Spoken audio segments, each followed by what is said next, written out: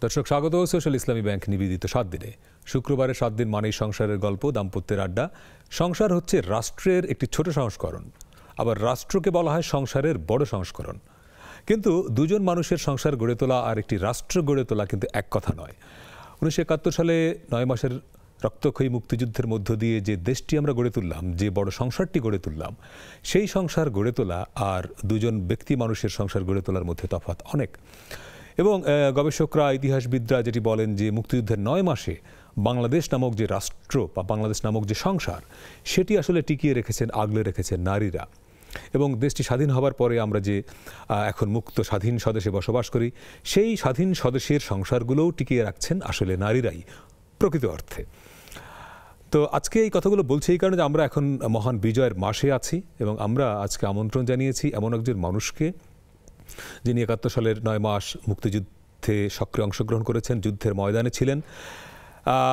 সেই সময় সংসারগুলো কেমন ছিল এবং এই সময়ে দু হাজার তেইশ সালের বাংলাদেশে এসে তার সংসারটি কেমন? আমরা আজকে আমন্ত্রণ জানিয়েছি তাকে, যিনি একই সঙ্গে একজন বীর মুক্তিযোদ্ধা এবং মুক্তিযুদ্ধ বিষয়ক লেখালেখির জন্য যিনি খ্যাতিমান। আমাদের সঙ্গে আছেন ইসাহাক খান, আপনাকে স্বাগত। তাকে আমরা একজন কথা সাহিত্যিক হিসেবে চিনি এবং তার লেখালেখির বড় জায়গা জুড়েই আসলে মুক্তিযুদ্ধ, তার গল্প, উপন্যাসের প্রধানত বিষয়বস্তু মুক্তিযুদ্ধ। ইসাহাক ভাই, আপনাকে স্বাগত এবং আমাদের সঙ্গে আছেন তার সহধর্মিনী শ্যামলী খান। আপনাকে স্বাগত জানাই। মুক্তিযুদ্ধ প্রসঙ্গ দিয়ে যেহেতু শুরু করলাম, একটু পরে আপনাদের ব্যক্তিগত প্রসঙ্গে আসছি। যখন যুদ্ধে আপনি যান, উনিশশো একাত্তর সালে, সেই সময় আপনাদের সংসারটা কেমন? তখন তো ধরেন যে আমি নিজে কলেজ ছাত্র। ফার্স্ট ইয়ারে পড়ি। তো সেই সময় তো সংসার বলতে তো ওইরকম কোনো ধারণাই মাথায় ছিল না। সংসার বলতে আমার মা বাবা তারাই দেখাশোনা করতো সংসার। তবে আমি যেটা দেখেছি যে ওই সময় সংসারের মধ্যে পিতা এবং মাতা তাদের যে যৌথ ভূমিকা সেখানে পিতার ভূমিকাটাই ছিল মুখ্য আর কি পরিবারের প্রধান হিসাবে। তবে আমাদের পরিবারে আমি যেটা দেখেছি যে আমার পিতা মাতা দুজনেই ছিলেন অত্যন্ত বিচক্ষণ এবং সহনশীল, পরস্পরের প্রতি শ্রদ্ধাশীল এবং সেটি আমাদের সব ভাই বোনের উপর প্রভাব পড়েছে। তো সেই সংসার, তারপরে নিজে যখন যুদ্ধের পরে সংসার শুরু করলাম। আমি দেখলাম যে দুয়ের অনেক পার্থক্য। আচ্ছা। নিজের জীবন কারণ আমি নিজে তো সংসারই ছিলাম না এখনও না। আমি না হ্যাঁ, সংসারে না হিসেবে আপনার খ্যাতি আছে। না না- না সংসারে না বৈরাগী হ্যাঁ। এইরকম একটা জীবন আমি যাপন করি। যেমন ধরেন যে আমার স্ত্রী এখানে উপস্থিত তার সামনে বলছি আমি স্ত্রী বিয়ের পরে খুব মনে পড়ে দু একদিন বাজার করেছি। আচ্ছা। সমস্ত বাজার সে করে কি সংসারে কি লাগবে সে করে। আপনার জামা কাপড় কে কেনে? সে কেনে। আমি আচ্ছা। আসব আমি আস অবধি হ্যাঁ। আমার কোনো প্যান্ট পাঞ্জাবি এই যে যা যা আমি পরে আছি হ্যাঁ। কোনোটাই আমার কেনা ভাবে ম্যাচ করে কেনে যে ভাবে শাড়ির হ্যাঁ, কালার আর আপনার কোটি। এইটাও একটা প্রবণতা আছে যে আচ্ছা। ম্যাচ করে কেনার। আর তারপরে ধরেন না আমার মেয়েরা বড় হয়ে গেছে তারাও কেনে। আমি কোনোদিনও ঈদের মার্কেটে যাওয়া হয়নি। আচ্ছা। মানে কখনো আপনার শখ হয় নাই? আমার শখ হয়েছে দু একবার কিন্তু এত ভিড়। আর আমি দু একবার তার সাথে গেছি হ্যাঁ। কিন্তু এত মেয়ে মানুষ। এটা আমাকে খুবই বিব্রত করেছে কারণ ওরা যে যায় চলাফেরা করে হ্যাঁ। আমি নিজেকে সেভ করি যে ওদের থেকে আমার দ্বারা যেন কোনো মেয়ের গায়ে স্পর্শ না লাগে। আচ্ছা। সে আমাকে ভুল না বোঝে। কিন্তু ওরা যে যায় ওরা যখন চলাফেরা করে হ্যাঁ। ওরা এটা মানেই না। ও আমাকে কুনে মেরে আমি এই ভয়ে আচ্ছা। আমি ঈদের মার্কেটে জান নাই। যাই না। তবে ওই ধরনের নিউ মার্কেটে দু একবার যেতে হয়েছে প্রয়োজনে। হয়তো আমার এই চশমা ঠিক করতে হবে ওই সময়। আচ্ছা। এমন এক সময় চশমাটা আমার ডিস্টার্ব যে ওই ঈদের সময়টা। আচ্ছা আচ্ছা। এখন যেতে মানে মালির ঘাড়ে। হ্যাঁ, মালির ঘাড়ে। তো এখন হয়েছে কি যে ওই সময়টা নিউ মার্কেটটা একটু খোলা জায়গা তো। এবং চশমার দোকানগুলোর জায়গার সামনে স্পেস আছে স্পেস থাকে ওখানে সমস্যা হয় না। কিন্তু মূল যে ঈদের যে সমস্যাটা হয় না গাউসিয়া মার্কেট। ওরে বাবা চাঁদনি চক। চাঁদনি চক। তারপরে ধরেন যে মৌচাক আছে এই হ্যাঁ, সমস্ত মার্কেটে মানে আপনি যে ছেলে তারা যে মেয়ে। হ্যাঁ। এইটা আপনার উল্টোটা বুঝে নিতে হবে যে আপনি মেয়ে তারা ছেলে বুঝছে? আপনি ধাক্কা খায় পড়ে যাচ্ছে তার মানে কি নারীর প্রতি একটা আপনার ভীতি কাজ করে? ভীতি ঠিক না আমি মানে তাদের প্রতি সম্মানের জন্য জায়গাটার থেকে যে যাতে আচ্ছা, ওরা মানে আমাকে ভুল না বোঝে যে আমি মেয়ে মানুষ দেখে একটু অনেক গা ঘেঁষার চেষ্টা করছি। আচ্ছা আচ্ছা। এই ধরনের চিন্তা যেন তার মাথায় না আসে। আচ্ছা, আচ্ছা। এজন্য আমি আমার গা বাঁচি। নিজেকে বাঁচিয়ে। হ্যাঁ, কিন্তু ওরা যে যখন যাচ্ছে। বিশেষ করে গাউসিয়া মার্কেটে। হ্যাঁ হ্যাঁ। ওখানে ভিড় বেশি। এবং গাউসিয়া মার্কেটে প্রধানত নারীরাই বেশি ক্রেতা। এবং নারীরা যাচ্ছে তো ওরাই তো বেশি। কিন্তু ওরা আবার আপনাকে ইয়ে দেবে না। স্পেস দেবেন স্পেস দেবে না। আপনাকে স্পেস খুঁজে নিতে হবে। আপনাকে দাঁড়িয়ে থাকতে হবে। আচ্ছা। একটা নারীর দল যাচ্ছে মনে করেন। আপনি নিজেকে সেভ করার জন্য আপনি এক পাশে বদ্ধলোক হয়ে দাঁড়িয়ে আছেন। যে ওই দল গেলে তারপরে আপনি যাবেন। তো এই যে এরকম লোকের সাথে কি করে সংসার করেন আপনি? আটত্রিশ বছর চলছে এখনও পর্যন্ত বড় রকম সমস্যা হয়নি। আচ্ছা আচ্ছা। কারণ কি জীবনের শুরু থেকেই আমি বিষয়টা আর কি ম্যানেজ করে চলেছি।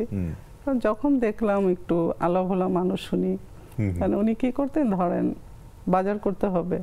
ব্যাগটা নিয়ে বের হলেন ওনার মনে হলো কোনো অনুষ্ঠানে যেতে হবে। তখন তো মোবাইল ছিল না যে আমাকে জানাবে। ওই পাশে দোকানে রেখে চলে যেতেন। আমি হয়তো মশলা বেটে বসে আছি। বাজারের খবর নাই। খবর নেই। তো যে কারণে এক সময় দায়িত্বটা হয়ে। নিজেই না বিরক্ত না ঠিক।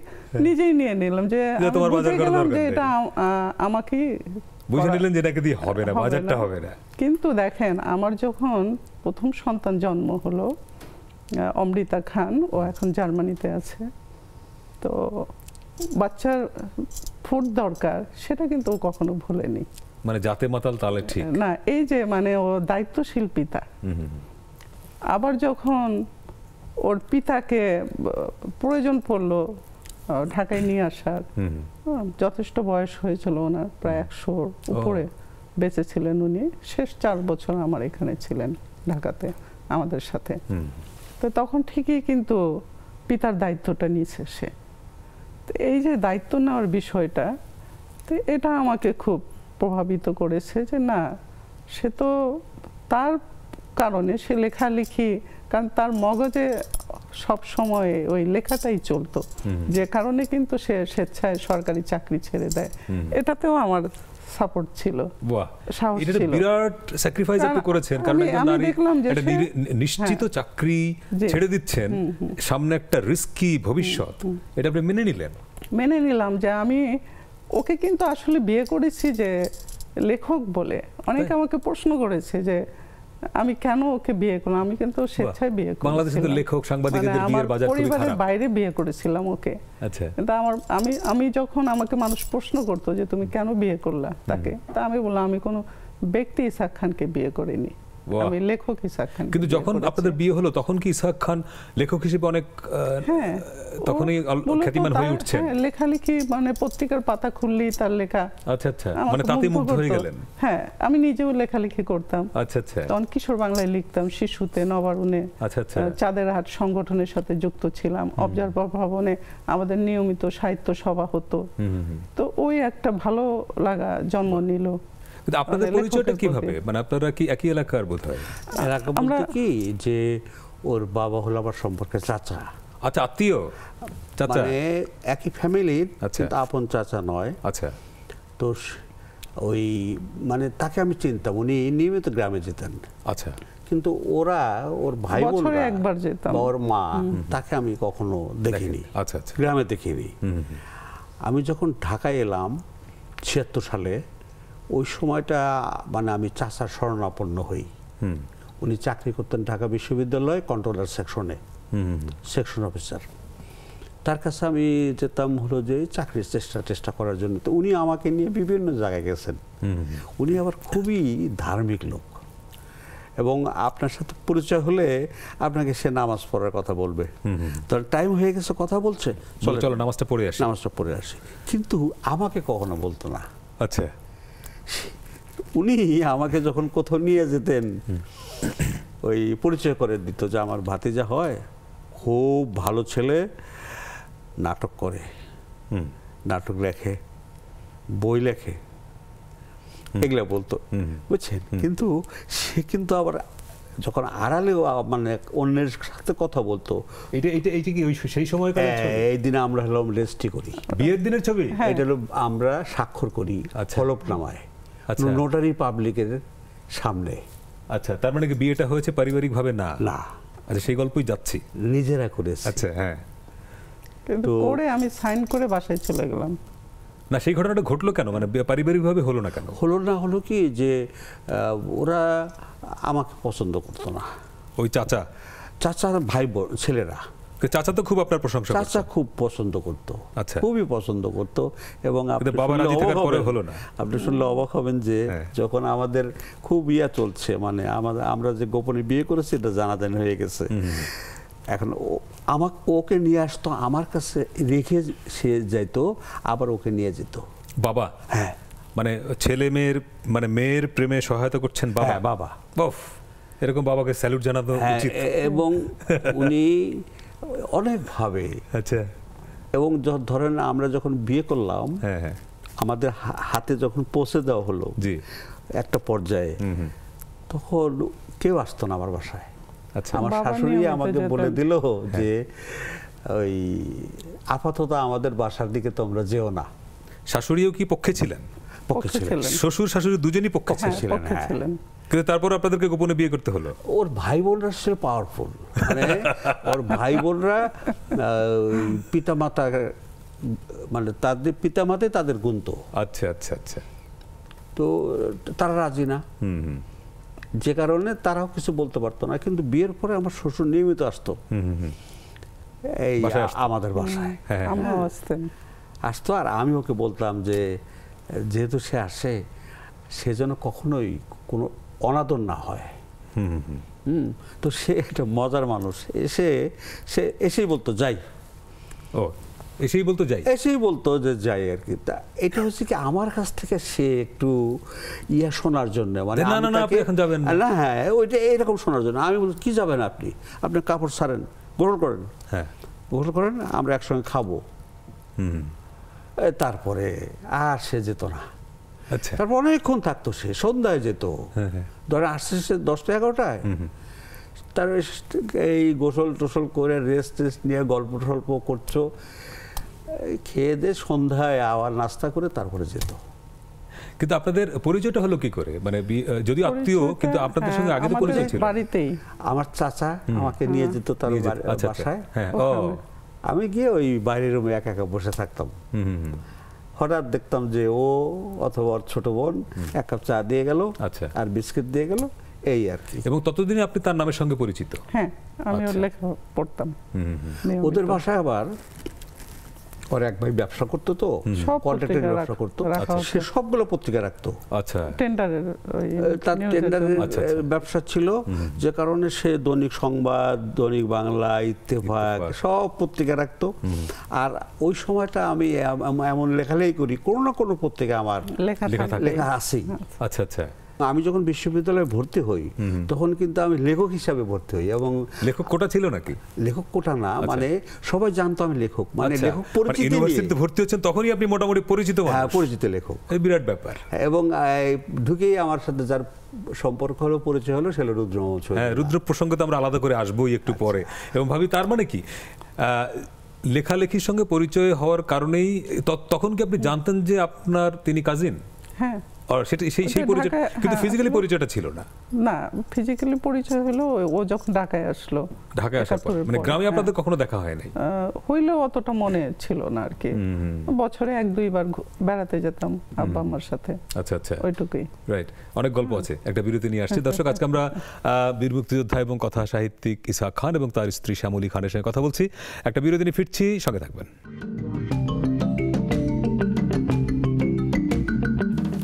দর্শক বিরতির পরে আবারও স্বাগত। সোশ্যাল ইসলামী ব্যাংক নিবেদিত সাত দিনে, শুক্রবার সাত দিন মানেই সংসারের গল্প এবং আজকে আমরা কথা বলছি মুক্তিযোদ্ধার সংসার। এই শিরোনামে কথা বলছি কারণ আমরা বিজয়ের মাসে আছি এবং আমাদের সঙ্গে আছেন বীর মুক্তিযোদ্ধা এবং কথা সাহিত্যিক ইসাক খান এবং তার স্ত্রী শ্যামলী খান।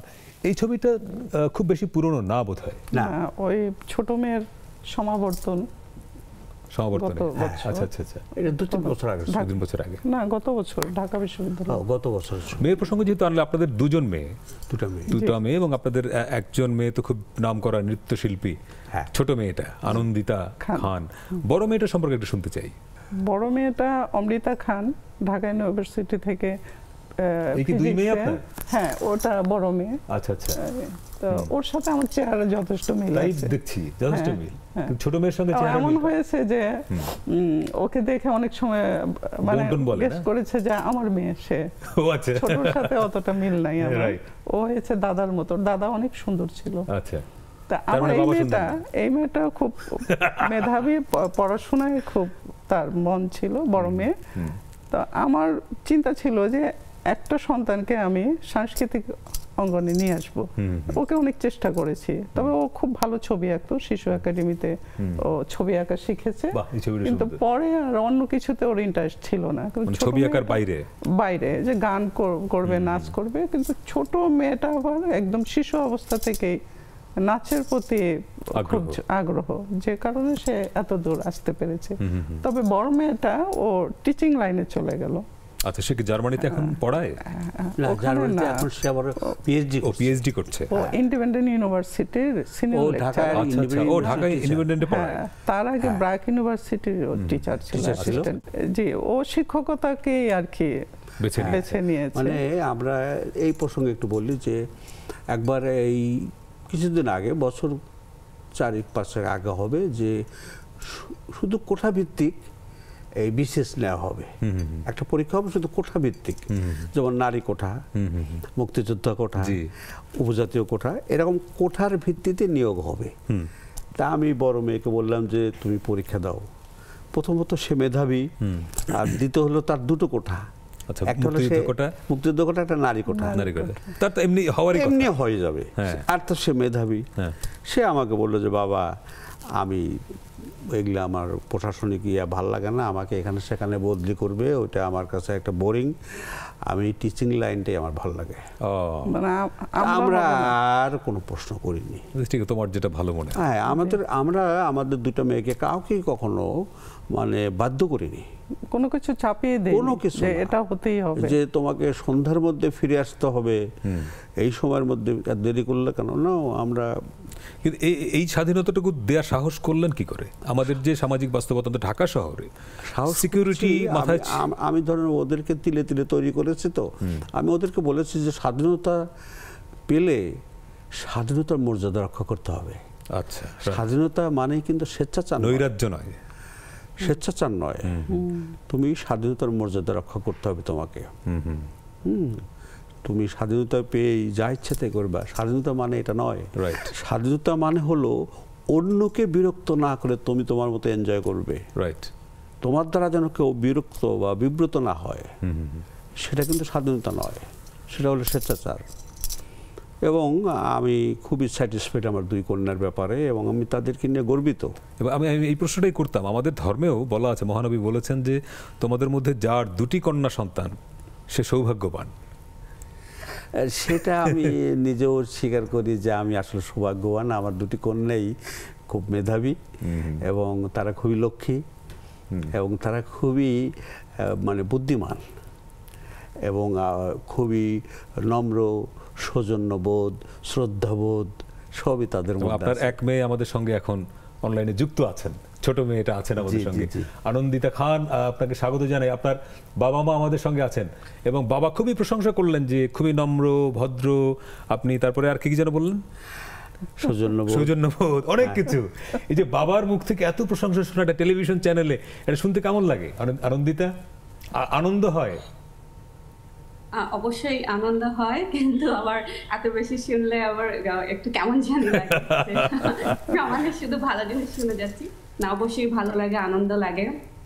আর আব্বু আম্মুর মুখ থেকে শুনলে তো তখন মনে হয় যে না হ্যাঁ জীবনে কিছু করতে পেরেছি তাদের আহ, মর্যাদা রাখতে পেরেছি তারা আমাদের যে শিক্ষা দিয়েছে যে মূল্যবোধ শিখিয়েছেন সেটা ধরে রাখতে পেরেছি। তো এটা অবশ্যই অনেক বড় জিনিস যে টেলিভিশনে শুনছি সে আমার ব্যাপারে এগুলো বলছে আমার বড় বোনের ব্যাপারে বলছে তো খুব আনন্দ লাগছে। আপনার মা আপনার বাবাকে বিয়ে করেছেন তিনি একজন লেখক বলে অর্থাৎ লেখক সত্তাটাকে প্রাধান্য দিয়েছেন। আপনি আজকে ইসহাক খানের মেয়ে এইটা ভাবতে বা এটা বলতে আপনার কেমন লাগে? ছোটবেলা থেকে আমি যখন স্কুলে পড়তাম তো এই বা- বাবা নিয়ে অনেক আমাদের প্যারাগ্রাফ থাকতো অনেক কিছু লিখতে হতো বা স্কুলে বলতে হতো। আমার তখন থেকেই যখন আমি বলতাম যে আমার বাবা একজন লেখক আহ, সবাই খুব একটা কৌতূহল দৃষ্টিতে আমার দিকে তাকাতো। কারণ এটা খুব বেশি আমার সময়ে আহ, খুব বেশি সচরাচর ছিল না যে কারও বাবা লেখক হবে বা লেখালেখি তার শুরু জীবিকা নির্বাহের একটা ধারা হবে। হ্যাঁ তো আমার তখন থেকে আমার খুবই মানে আমি খুবই গর্ববোধ করি যখন বলি যে আমার বাবা একজন লেখক আমি একজন সাংস্কৃতিক পরিবার থেকে এসে যেখানে সংস্কৃতিকে হচ্ছে যে অনেক প্রাধান্য দেওয়া হয় চর্চা করা হয়। এটা অনেক গর্বের বিষয় আমার জন্য। আপনার বাবা এবং মা দুজনকে একসঙ্গে যেহেতু আপনি দেখছেন এখন টেলিভিশন স্ক্রিনে বাবা মায়ের কোন দিকটা সবচেয়ে বেশি পছন্দ আপনার? আমার সব থেকে যে জিনিসটা বেশি পছন্দ সেটা হচ্ছে কি তারা যে আমাদেরকে মানুষ করেছে তারা কখনো দেখেনি যে আমি মেয়ে। তাহলে আমাকে একটা নির্ধারিত কিছুর মধ্যে দিয়ে যেতে হবে যে হ্যাঁ এতটার মধ্যে বাসায় ফিরতে হবে বা এই জিনিসটাই করতে পারবে ওই জিনিসটা করতে পারবে না। তো এই জিনিসগুলা কখনোই কোনো পর্যায়ে জীবনে আমাকে হচ্ছে গিয়ে মুখোমুখি হতে হয়নি। স্কুল কলেজ এখন আমি ইউনিভার্সিটিও শেষ করে ফেলেছি। আমাকে কখনো এটা শুনতে হয়নি যে তুমি মেয়ে তুমি এটা করবে না। বরঞ্চ সবসময় বলেছে যে তোমার যেটা ভালো মনে হয়, নিজের বুদ্ধিমত্তা দিয়ে তুমি যদি মনে করো এটা তোমার জন্য নিরাপদ, তুমি এটা থেকে ভালো কিছু অর্জন করতে পারবে, তাহলে অবশ্যই হচ্ছে গিয়ে তুমি ওই কাজটা করো। আমরা তোমার সাথে আছি, কোনো দরকার হলে আমরা সবসময় তোমার পাশে থাকব। তা আমি মনে করি এটা মানে অনেক সাহস জুগিয়েছে আমাকে এবং আমি ঢাকা শহরে এখন যে সাহস নিয়ে আমি চলাচল করি, রাতের বেলা হোক, দিনের বেলা হোক বা যে কনফিডেন্সটা আমার মধ্যে থাকে, আমি যখন কাজ করতে বের হই বা আমি যখন ক্লাস নিতে বের হই ইউনিভার্সিটিতেও যখন ছিলাম বা আমার সাবজেক্ট ছিল ট্যুরিজম নিয়ে, আমি ট্যুরিজম নিয়ে পড়াশোনা করেছি, তো এটার জন্য আমাকে পুরো বাংলাদেশের অনেক জায়গায় যেতে হয়েছে। তো তখনও যখন আমি বিভিন্ন ট্যুরে গিয়েছি ফ্রেন্ডদের সাথে বা অ্যাসাইনমেন্টের কাজে, তখন যে তারা সাহস জুগিয়েছে যে না, তুমি যথেষ্ট বড় হয়েছো এবং তুমি তোমার বুদ্ধিমত্তা দিয়ে, তোমার জ্ঞান নিয়ে তুমি হচ্ছে সামনে যাবে। তো আমার কাছে মনে হয় যে এই যে শিক্ষাটা যে এই যে সাহসটা আমি ফ্যামিলি থেকে পেয়েছি, এটা অনেক বড় কিছু আমার জন্য এবং এই কারণে আজকে আমি বলতে পারি যে আমি খুবই সাহসী একটা মেয়ে এবং আমার আমার মনে প্রচুর সাহস শুধু তাদের জন্যই হয়েছে। বাহ। শ্যামলিকা তার মানে মেয়ের এই যে ঢাকা শহরের মধ্যে খুব ক্রিটিক্যাল শহরে দুটা মেয়েকে মানুষ করা এবং এখন তারা কনফিডেন্ট যে ঢাকা শহরে রাত হোক দিন হোক তারা চলতে পারে কোনো ভয় পায় না। মা হিসেবে এইটা আপনাকে কতটা প্রাউড মানে দেয়? আমি খুবই গর্ববোধ করি যে তারা মানে আত্মনির্ভরশীল হতে পেরেছে। এবং আমিও তাদেরকে করতে পেরেছি। তাদের যেমন ধরেন আমার বড় মেয়ে সে যখন কলেজে ভর্তি হলো আমি মাত্র এক মাস গিয়েছি। ইঞ্জিনিয়ারিং কলেজে পড়েছে সে। তো তারপরে আমি তাকে শিখিয়েছি যে মা এইভাবে তুমি চলবে এই করবে সে তারপরে আমি মনে করেছি যে না আর যাওয়ার দরকার নেই। মানে ছোট মেয়েটা অবশ্য যেহেতু কালচারাল অঙ্গনে ছিল হয়তো দেখা গেছে তার রিহার্সেল আছে রেকর্ডিং আছে। ও ওর সাথে একটু বেশি সময় থেকেছি ও ইন্টারমিডিয়েট পর্যন্ত। তো তারপর বিশ্ববিদ্যালয় জীবনে আর আমার যেতে হয়নি। বড় মেয়ের সময় না ওর সময়ও না। তা আমাদের একটা আস্থা ছিল বিশ্বাস ছিল যে না বড় মেয়েরা কখনো ওইরকম এমন কোনো ভুল করবে না যাতে আমাদেরকে জীবনে বিব্রত হতে হয়। তবে ওরাও তাদের নিজের জীবনকে ওইভাবে গুছিয়ে নিয়েছে। বড় মেয়েটা ছোট মেয়েটা তাদের মতো যে তারা চলছে আমাদের কোনো অভিযোগ নাই। হ্যাঁ, তারা তাদের মতো গড়তে পেরেছে আমি যেমন আমার জীবনটাকে আমার মতো করে গড়তে পেরেছি আমার সন্তানরাও গড়তে পেরেছে এটা আমাকে খুবই মানে এই- যারা। দেখছেন তাদের জন্য এটা একটা বড়। লেসন আমরা মনে করি যে সন্তান তো এই বিষয়টা শেষ কথা নয় হ্যাঁ। এইখানে আমি একটা কথা বলি সেটা হলো যে এই কথাটা খুবই ইম্পর্টেন্ট সেটা হলো যে আমি মেয়েদের কাছে শুনেছি আমার কন্যাদের কাছে যে ওই ওরা যখন স্কুল লেভেলে পড়তো। রেজাল্ট খারাপ হলে ওই ধরেন ইয়ে ক্যাম্পাসেই পরীক্ষা খারাপ হচ্ছে ওখানে বেশি, ওখানে হ্যাঁ, দিত হাতে নিয়ে।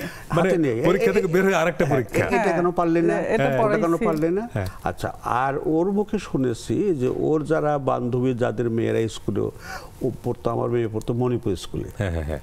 একটা নাম করে জি খুবই নাম করে স্কুল। আমার দুই মেয়ে মণিপুর স্কুলে আচ্ছা, পড়েছে। তো ওই যখন সেভেন এইট নাইন টেনে পড়ে পরীক্ষার আগে টেলিভিশন বন্ধ থাকে। বুঝছেন? মানে ওর পড়া নষ্ট হবে। কিন্তু ডিশের লাইন বন্ধ থাকে। কিন্তু আমার বাসায় কখনো টেলিভিশন বন্ধ থাকে কখনো কোনো কিছুই বন্ধ এবং মানে পরীক্ষার সময় আলাদা কোনো আতঙ্ক নয়। না না। আতঙ্ক নয় এবং আমার ছোট মেয়ে একটা তার দুই একটা অনুষ্ঠান তার খুবই পছন্দের ছিল। সে ওই ধরেন আধা ঘণ্টা আধা ঘণ্টা প্রোগ্রাম সে দেখে আবার পড়তে যেত। আমরা কখনোই তাকে বলি নাই যে তোমার বরাবাদ দিয়ে তুমি টিভির সামনে কেন? আমি জানি যে এই অনুষ্ঠানটা ওর দেখতে ভালো লাগে এইটা যদি ও এই মুহূর্তে না দেখে তাহলে ওর এক ধরনের ভেতরে অস্বস্তি কাজ করবে ওর পড়াটা আর কাজে লাগবে আচ্ছা, অনুষ্ঠানটা শেষ করে ও নিজে ঠিকই বসবে। ও গিয়ে ঠিকই বসবে। কিন্তু আমি নিজে শুনেছি দেখেছি পর্যন্ত যে ওই ছেলে মেয়ের পরীক্ষার কারণে বাসায় টিভি বন্ধ। ডিশের লাইন বন্ধ ডিশের লাইন বন্ধ। কেন? বলে ও পড়াশোনা নষ্ট। কিন্তু দেখা যায় তারা এবার হল থেকে বের হওয়ার পরে আবার প্রশ্নের মুখোমুখি হচ্ছে। ফেল করছে। মার খাচ্ছে। হ্যাঁ। এবং আমরা যেটা করেছি যে হয়তো ওর মা দু একটা প্রশ্ন জিজ্ঞেস করছে যে কেমন আছে আমার প্রশ্নের উত্তর কে দিলে? হয়তো ভুল দিয়েছে। আমরা এই বিষয়টা না কোনো কথা বলিনি। বলছি যে সামনের যে পরীক্ষাটা আছে পরের দিনের জন্য সেইটা প্রস্তুতি নিয়ে নাও। ভাবো। রাইট যেটা চলে গেছে রাইট সেটা গেছে। বকা দিলে তো তার মন খারাপ হবে। পরের পরীক্ষাটা আরও খারাপ হবে। আরও খারাপ হবে। হ্যাঁ আমরা ওইটা খুব জরুরি। এটি খুব জরুরি। যারা অনুষ্ঠানটি দেখছেন তাদের জন্য খুব বাবা মায়ের আসলে এই উপলব্ধিটা খুব জরুরি। ভাবা উচিত। রাইট আনন্দিত আমরা বিরতিতে যাব তো। বাবা মায়ের জন্য কি প্রার্থনা? তাদের জন্য প্রার্থনা যে এখন তার দু- তাদের দুইটা মেয়ে বড় হয়ে গেছে তো আমরা দুই বোনই চাই যে এখন তারা পৃথিবীটাকে আরও দেখুক তারা আরও বেশি হচ্ছে গিয়ে এনজয় করুক এবার আর আমাদের টেনশন না নেক এবার দুইজন মিলে যত খুশি পৃথিবী ঘুরে দেখুক। অসাধারণ অসা আনন্দিত অনেক ধন্যবাদ আপনাকে আমাদের সঙ্গে যুক্ত হওয়ার জন্য। আরেকটা বিরতি নিয়ে আসছি। এরকম দুটি মেয়ে যাদের আছে তারা অবশ্যই সৌভাগ্যবান। এবং আপনারা নিশ্চয়ই পৃথিবী ঘুরবেন এখন ওদেরকে ছেড়ে দিয়ে। দর্শক আর একটা বিরতি নিয়ে আসছে একটু পরেই। সঙ্গে থাকবেন।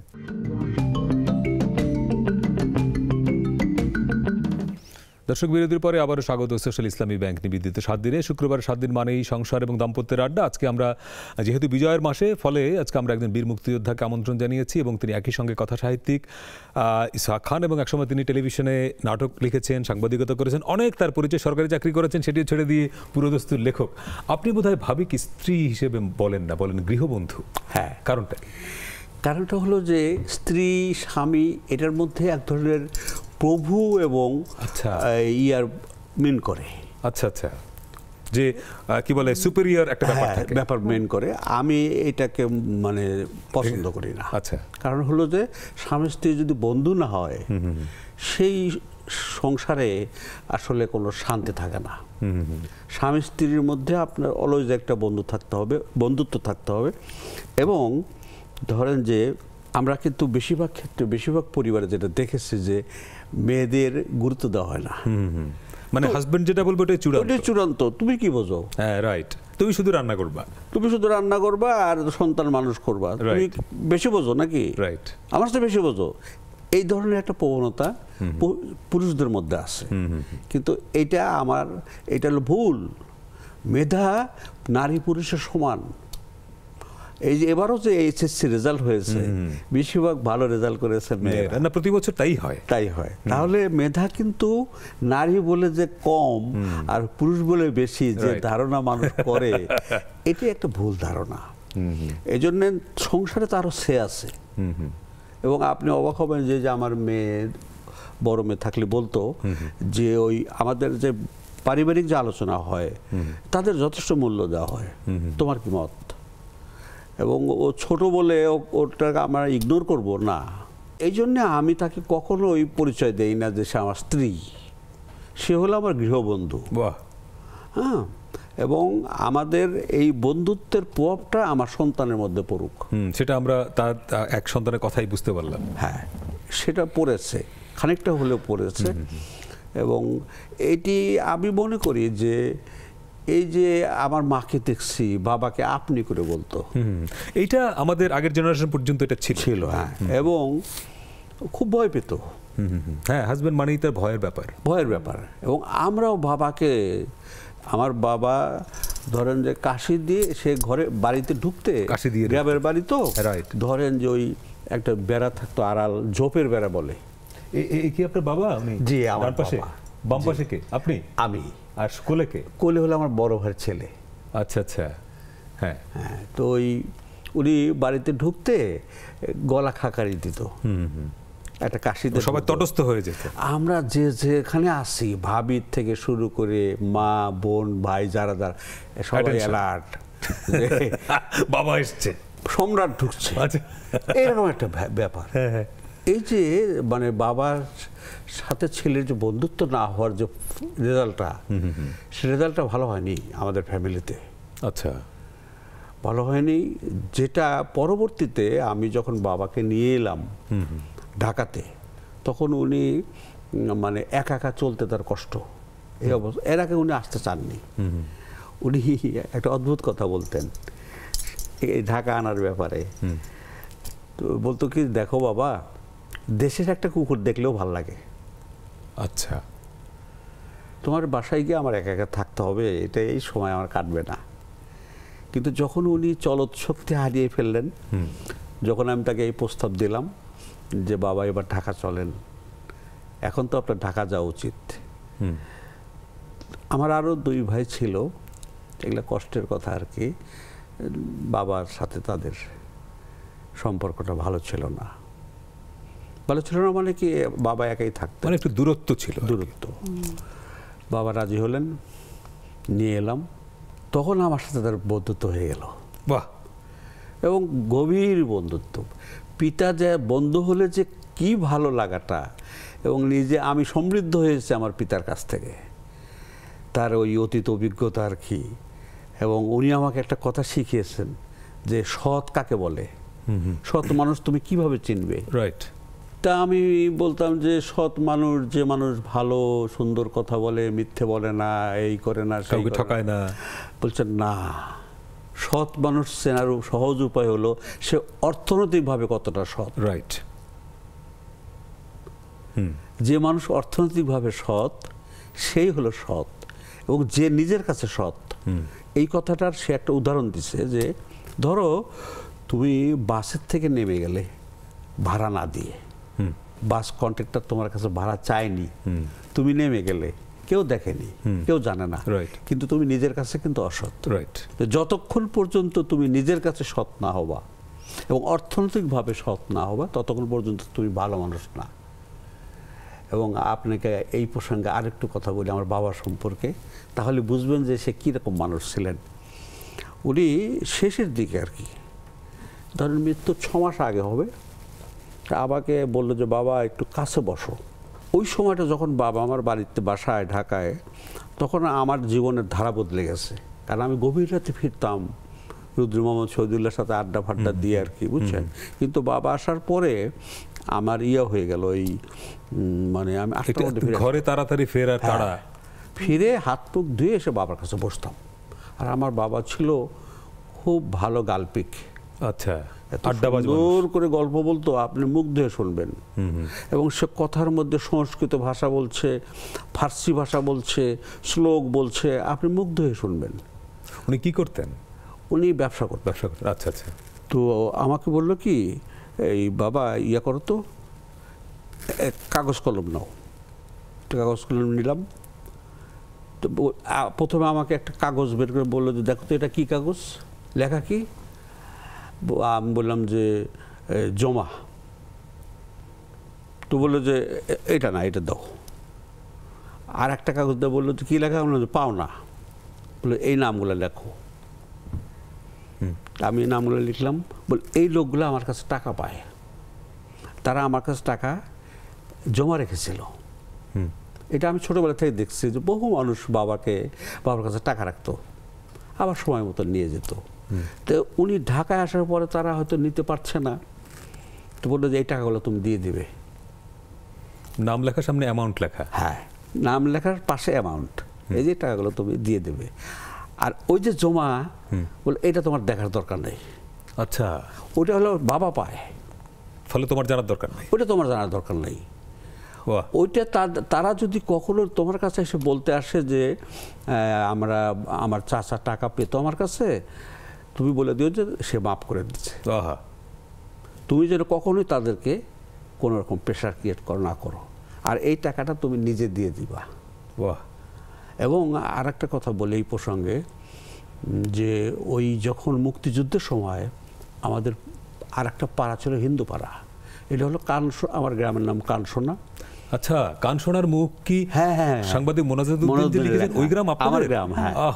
পড়েছি তো হ্যাঁ। কান শোনার মুখ সে এটা লিখে ফিলিপস পুরস্কার পেয়েছে। ফিলিপস পুরস্কার পেয়েছে এবার আমার আমার সাংবাদিকতা আসার একটা বড় কারণ হচ্ছে এই বইটা। সেটা অন্য আমার গ্রাম নিয়ে মামুনা রশিদ নাটক লিখেছেন। হ্যাঁ। সময় সময়। হ্যাঁ। আচ্ছা বিখ্যাত এবং আমার গ্রামে নয়জন মুক্তিযোদ্ধা। আচ্ছা। ভাবেন। ছোট একটা গ্রাম বাহ। কিন্তু নয়জন মুক্তিযোদ্ধা। কানসোনার মুখ আমি তো জানতাম রংপুরে। না। এটা আপনাদের সিরাজগঞ্জে? আচ্ছা। ওনার বাড়ি রংপুর। আচ্ছা, ওই আচ্ছা। বনাদুদ্দিনের বাড়ি রংপুর। হ্যাঁ হ্যাঁ হ্যাঁ আমি ওনার বাড়িতে গিয়েছি। ওই সময় যখন আমাদের ওই হিন্দু পাড়াটা পাকার মেয়ে আক্রমণ করে ওই পাঁচ ছজনকে মেরে ফেলে বাড়িঘর জ্বালিয়ে দেয় তখন ওই হিন্দু মহিলারা তাদের কিছু অর্নামেন্টস রাতে এসে আমার বাবার কাছে জমা রাখছে। হুম। যে তাদের বিশ্বাস যে। আমানত হিসাবে রইল হারাবে না নষ্ট হবে না। তারপরে তারা আবার ফিরে এসে কেউ ইন্ডিয়া গেছে কেউ এখানে গেছে সেখানে গেছে ফিরে এসে অর্নামেন্টস নিয়ে গেছে। কিন্তু এখনও একটি নাকফুল রয়ে গেছে। এবং সেটা আমি এখনও বহন এখনও? হ্যাঁ। আচ্ছা তার মানে ওই লোকটি হয়তো নেই জানি না মানে আমি অনেক এটা লেখার মধ্যে লিখেছি। এটা আপনার বাবার আমানত হিসেবে আপনি রেখেছেন। রেখেছি মানে কি ফেরত দেওয়ার জন্য? রাইট যদি কখনো কেউ আসে। যখন যদি একটা নাকফুল একটি নাক আহ এটা আপনার ভালো গল্পের প্লট যে একটি নাকফুল আপনাকে। আমি জানি আপনি লিখেছেন কিনা। এটা একটা ভালো গল্পের আমি স্মৃতির মধ্যে লিখেছি। আচ্ছা আচ্ছা আচ্ছা। কিন্তু গল্প লেখা হয়নি। আচ্ছা। তবে লিখব আজকে আপনি বলার পরে আমার এখন মাথার মধ্যে এই বিষয়টা ঘুরপাক খুবই একটা ভালো গল্পের হ্যাঁ, একটি- একটি গল্পের নাকফুল। একটি নাকফুল জি। মানে আমি ওই গ্রামে ওই ঘোষরা চলে গেছে। বেশিরভাগই ওরা বিভিন্ন শহর টহরে বাড়ি টাড়ি করেছে অনেকে ইন্ডিয়াও চলে গেছে। যে কারণে আমি যে কাউকে সাহায্য নেব যে দেখিয়ে যে দেখো তো এই জিনিসটা তোমাদের এত বছর পরে নিশ্চয়ই এটা খুব কঠিন কঠিন কিন্তু সেই দায় আমি এখনও বয়ে বেড়াচ্ছি। রাইট অসাধারণ। আমরা আরেকটা বিরতি নিয়ে আসছি ইসা খান। এই পার্টে ভাবির কথা শুনতে পারিনি নিশ্চয়ই শুনব। দর্শক আজকে আমরা বীর মুক্তিযোদ্ধা ও কথা সাহিত্যিক ইসা খান এবং তার স্ত্রীর সঙ্গে আড্ডা দিচ্ছি। আর একটা বিরতি নিয়ে ফিরছে একটু পরেই সঙ্গে থাকবেন। দর্শক বিরতির পরে আবারও স্বাগত সোশ্যাল ইসলামী ব্যাংক নিবেদিত সাত দিনে শুক্রবারে সাত দিন মানেই সংসারের গল্প দাম্পত্যের আড্ডা এবং আজকে আমাদের সঙ্গে আছেন বীর মুক্তিযোদ্ধা এবং কথা সাহিত্যিক ইসাক খান এবং তার স্ত্রী শ্যামলী খান আছেন আমাদের সঙ্গে। ভাবি একটা ছবি ঐতিহাসিক ছবি বলতে পারি। মাঝখানে প্রখ্যাত কবি রুদ্র মোহাম্মদ শহীদুল্লাহ এবং রুদ্র শহীদুল্লাহ হচ্ছে আপনার হাজবেন্ডের খুবই ঘনিষ্ঠ বন্ধু ছিলেন। এই বন্ধু মানিক জোর মানিক জোর ছিলেন। এই বন্ধুত্বের প্যারা কি কি ছিল আপনার সংসারে? প্যারা আসলে যথেষ্ট ছিল। আচ্ছা। কিন্তু আমিও রুদ্রদাকে অনেক কাছ থেকে তো পছন্দ করতাম একেবারে কাছ থেকে। রুদ্রদা তসলিমা নাসরিন তাদের জীবনযাপন। আচ্ছা এখানে কি মিনার মনসুর কি? মিনার মিনার মাহমুদ। সরি মিনার মাহমুদ। মিনার মাহমুদ আপনি এবং রুদ্র। শহীদুল্লাহ এবং মিনার মাহমুদের লাইফটাও তো খুব ট্র্যাজিক হ্যাঁ। নিশ্চয়ই আরেকদিন এটা নিয়ে কথা বলতে পারব হ্যাঁ, আমরা। হ্যাঁ। তো রুদ্রদা তো মিঠেখালি থাকতেন ওনার চিংড়ির ঘের ছিল। বাগেরহাটে। হ্যাঁ বাগেরহাটে। তো ঢাকা আসলে আমার শুনলে আতঙ্ক শুরু হতো। আর পাচ্ছি না? ইসাক খান দুই দিন তিন দিন হারিয়ে যেত। মানে আমার হয়েছে একদিন আমি টিএসসি তে গেছি ওরে খুব দরকার তিন দিন হলো পাচ্ছি না ওকে। আচ্ছা, আচ্ছা। তখন তো মোবাইল ছিল না। হ্যাঁ হ্যাঁ। আমার বাচ্চাও ছোট তো তখন ওই হাবিবুল হাসান মাকনা ভাই। তখন তো মাকনা একটা ক্যারেক্টার করে খুব বিখ্যাত অভিনেতা। তা আমাকে দেখেই বুঝে গেছে। আমি কারে। খুঁজতে আসছে। সে তো আমাকে দেখে হা হা করে হেসে। ভাবি এই পাগল দুইটাকে আপনি এখন খুঁজেন না বাসায় চলে যান। আচ্ছা। শুধু শুধু কষ্ট করতেছেন। পাবেন। ও যখন মনে করবে ও ঠিকই ফিরে যাবে। এরপর আর আমি বের হইতাম না মানে এবার রুদ্র মোহাম্মদ শহীদুল্লাহ ঢাকায় এলে আপনি ধরে নিতেন যে উনি আর নাই দুই তিন নাই হারিয়ে গেছে। হারিয়ে গেছে। হ্যাঁ। ইসাক ভাই এই যে রুদ্রর সঙ্গে অনেক গল্প তো আপনার। এক অনুষ্ঠানটা এখন খুব অল্প সময় হতে বলা কঠিন। কিন্তু রুদ্রের কোন বিষয়গুলো আপনাকে খুব বেশি টাচ করতো? আচ্ছা প্রথম হলো যে আমি যখন মানে ওকে আমি পরিচয় হওয়ার আগে ওকে আমি চিনতাম। লেখক হিসেবে? কবি হিসাবে আমার ক্যাম্পাসে আমি ঢাকা ইউনিভার্সিটিতে ভর্তি হয়েছি। আপনার কি সহপাঠী ছিলেন? না আমি পড়তাম জার্নালিজমে ও পড়তো বাংলায়। আচ্ছা। আমি দেখতাম যে দলবল নিয়ে যাচ্ছে একটা কেমন একটা অগোছালো অগোছালো ভাব বহিমিয়ান ভাব ঝাঁকড়া চুল এরকম একটা ছেলে। কিন্তু যখন আমাদের সম্পর্ক হলো সম্পর্কের পরের দিনই সেটা একটা নাটকীয় গল্প সেটা সময়ের সাপেক্ষ ব্যাপার বলা যাবে না দীর্ঘ গল্প। আমি তার বাসায় গেলাম রাতে। হলে না বা- বাসায় না তার সে থাকতো বাসা ভাড়া করে। আচ্ছা আচ্ছা। বাসাবোতে আচ্ছা। রাতে গেলাম গিয়ে আমি ওর বাসা দেখে মানে ওর পরিবেশ কাজের নমুনা দেখে মুগ্ধ হলাম। মানে বইপত্র দেখে? বইপত্র তো আছেই শৃঙ্খলা। শৃঙ্খলা? হ্যাঁ। কিন্তু বাইরে সে একটা বহেমিয়ান। বাইরে সে বহিম্যান ভেতরে ভেতরে যে সে এমন গোছানো। গোছানো মানে আমাকে সে ভীষণ মুগ্ধ করল এবং ভেতরে ভেতরে আমিও তাই। আহ, এইটাই আমাদের জোর বাঁধার একটা মূল কারণ যে ভেতরে ভেতরে আমরা গোছানো. বাইরে যে যাই করি রাত দুদিন ঘরে ফিরি নাই ঠিক আছে। কিন্তু যখন আমি ফিরছি তখন আমি ঘর আমার ইয়ে থাকতে হবে। আমি দেখলাম যে সে দু জায়গায় লেখে।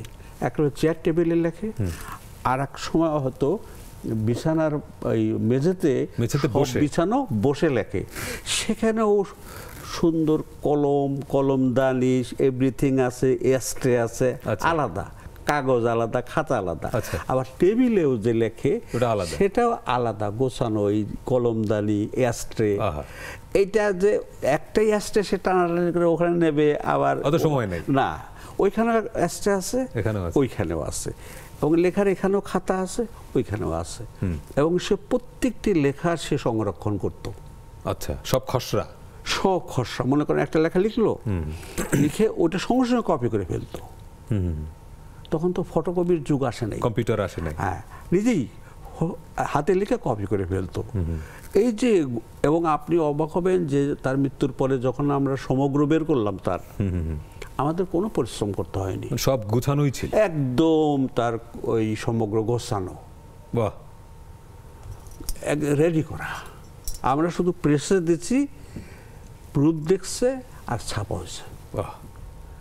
ভাবি দিন শেষে এই যে নিজে স্বীকার করলেন যে বাইরে বোহেমিয়ান আমরা তাকে বোহেমিয়ান ইসাক ভাই হিসেবে চিনি কিন্তু ভেতরে খুবই গোছানো মানুষ। দুজনেই খুব গোছানো ছিল।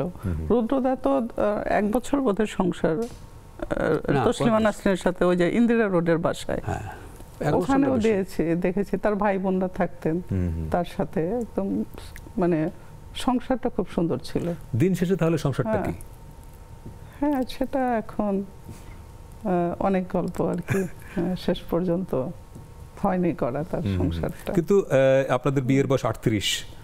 আটত্রিশ বছর পরে এসে যদি প্রশ্ন করি আপনাকে যে সংসার বলতে আপনি কি বোঝেন? সংজ্ঞা কি? সেটা সংসার বলতে আমি মনে করি যে পারস্পরিক যে বোঝাপড়া শ্রদ্ধাবোধ ভালোবাসা এটা থাকতে হবে। ও যেমন আমাকে যথেষ্ট স্বাধীনতা দিয়েছিল সব কিছুতে এবং ওই আমার আমি কিন্তু বিয়ের পরে এসএসসি থেকে একদম মাস্টার্স। আচ্ছা। এই যে আমার শিক্ষা জীবন সমস্ত কিছুতে যথেষ্ট স্বাধীনতা দিয়ে ও কিন্তু পাশাপাশি এটা বলেছে একদম বিয়ের শুরুতেই যে আমি তোমাকে স্বাধীনতা পূর্ণ দিলাম সংরক্ষণ করার দায়িত্ব তোমার। তার মানে কি? ওখানে সে আমাকে বুঝিয়ে দিল যে হ্যাঁ স্বাধীন হয়েছে কিন্তু তোমাকে আবার কোথাও কোথাও থামতে হবে। রাইট এই পরবর্তীতে কিন্তু এই শিক্ষাটা আমার সন্তানদের কেউ আমরা দিয়েছি। রাইট এই প্রভাবটা তাদের উপরও পড়েছে। যে জন্য এই যে এই পর্যন্ত আমাদের কোনো কখনো যে হয় না মনোমালিন্য তো এটা হয় কিন্তু বড় ধরনের কোনো সমস্যা হয়নি। ঝগড়াঝাটি। রাইট বা একেবারে খুব মুখ দেখাদেখি বন্ধ। মানে একটি দাম্পত্য এখন কিন্তু আমরা ভাবতেই পারি না যে একজন আরেকজনকে ছাড়া। বাহ এটাই। তাহলে দিন শেষে এটাই হচ্ছে সংসার। এটাই অনেক ধন্যবাদ আপা এবং ইসাক ভাই। আরও অনেক গল্প আপনাদের গল্প এত বেশি যে একটা অনুষ্ঠানে শেষ করা কঠিন কিন্তু আজকে আমাদের শেষ করতে হচ্ছে। অনেক ধন্যবাদ আপনাদের এরকম হ্যাপি সংসার হোক সবার এবং আমরা যেটি প্রত্যাশা করি দর্শক স্বাধীনতা মানে আসলে অ্যাবসলিউট নয়। হাজব্যান্ড ওয়াইফ প্রত্যেকে প্রত্যেকে সম্মান কর করা, শ্রদ্ধাবোধ বজায় রাখা এবং স্বাধীনতাটাকে একটা নির্দিষ্ট জায়গা পর্যন্ত রাখা। অন্যের স্বাধীনতাকে স্পর্শ না করা পর্যন্ত হচ্ছে আমার স্বাধীনতা। তাহলে সংসারটা সুখের হয়। সবাই ভালো থাকবেন।